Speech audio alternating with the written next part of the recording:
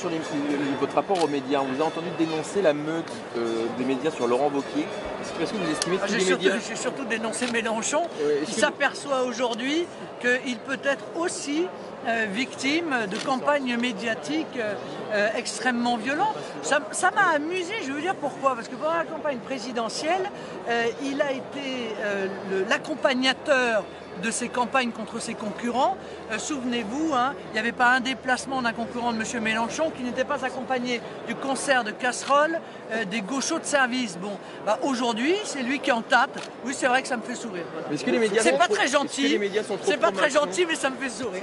Vous le soutenez dans sa lutte avec les médias Vous le soutenez Je le soutiens dans sa lutte. avec les médias Non, mais je, vous savez très bien ce que je pense du tribunal médiatique.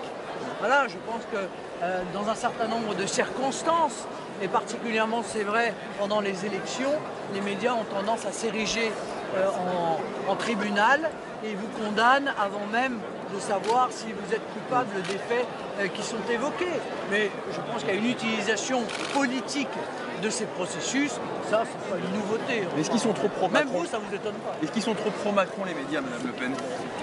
Ah, ils ont l'air séduits, ça c'est sûr. Hein. Non, là c'est le moins qu'on puisse dire. Ils ont l'air séduits.